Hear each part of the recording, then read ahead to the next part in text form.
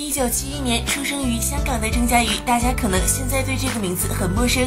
在一九九五年，郑嘉颖出演电影《流浪舞台》，正式踏足演艺圈。她在两千年的古装剧《怀玉公主》中主演怀玉公主，这可是继《还珠格格》后又一部火遍两岸三地的电视剧。由于怀玉公主和先期播放的《还珠格格》，无论是剧情还是人物都很相似，因此人们对两个剧的主角肯定会进行比较。有一次在发布会上，性格直爽的他称赵薇的走红是因为琼瑶写的剧本太好，完全是靠运气。如果他来演，肯定比赵薇还要红。当年郑嘉瑜在拍摄《怀玉公主》时，和男主角孙耀威日久生情，但是在相恋一年后，孙耀威单方面告知分手。此后，郑嘉瑜便患上了抑郁症。然而福不双至，祸不单行，在遭受失恋打击的郑嘉瑜被告知母亲患上了肺癌。孝顺的她在巅峰时期选择息影照顾母亲。二零一三年，郑嘉瑜的母亲去世，为圆妈妈的遗愿，她选择复出拍戏。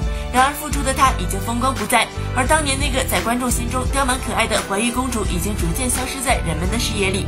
如今四十六岁的郑嘉瑜沦为跑龙套，当年看清赵薇的她，如今影坛地位与赵薇已经不能再同日而语了。真是三十年河东，三十年河西，自己保重吧。